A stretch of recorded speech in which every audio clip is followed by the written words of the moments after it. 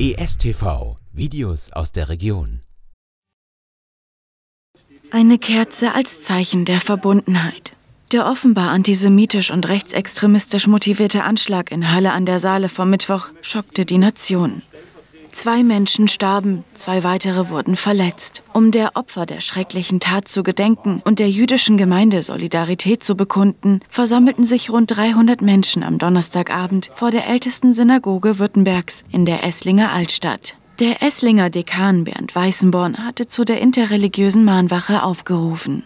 Wir wollen alles tun, um jüdisches Leben in dieser Stadt und darüber hinaus in diesem Land zu schützen.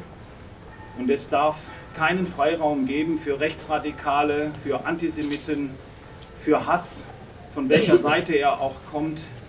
Dagegen wollen wir unsere Stimme erheben, wollen zusammenstehen als Demokraten.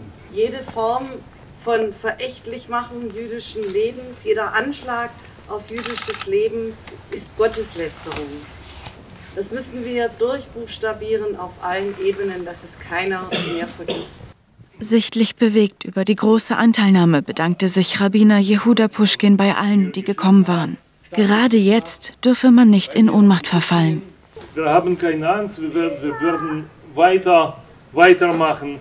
Wir werden unser Judentum nicht verstecken. Wir haben einen Platz in, in der Mitte dieser Gesellschaft, in dieser Stadt, in diesem Land und in ganzen Deutschland.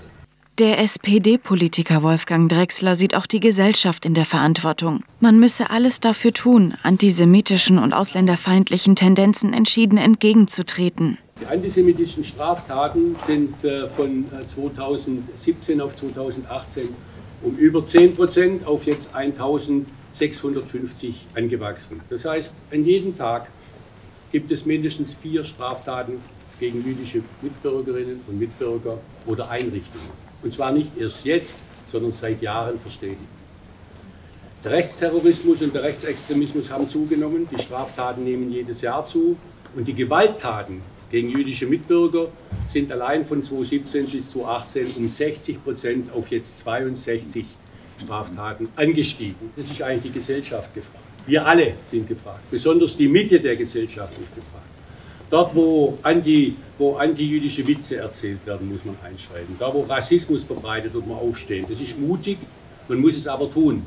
Es macht mich als Vertreter der Stadtverwaltung stolz, dass so viele Esslingerinnen und Esslinger hier sind. Vielen Dank auch für die Worte. Sie haben gesagt, Herr Rabiner, das ist Esslingen. Und ähm, das wird heute Abend deutlich. Vielen Dank. Das ist ein starkes Zeichen, das unsere Stadt aussendet, dass in so kurzer Zeit und sehr spontan organisiert so viele Bürgerinnen und Bürger unserer Stadt hier sind. Zum Abschluss der Mahnwache sangen die 300 Versammelten gemeinsam jüdische Lieder. Es war deutlich zu spüren, der Schmerz über die schrecklichen Ereignisse in Halle sitzt immer noch tief.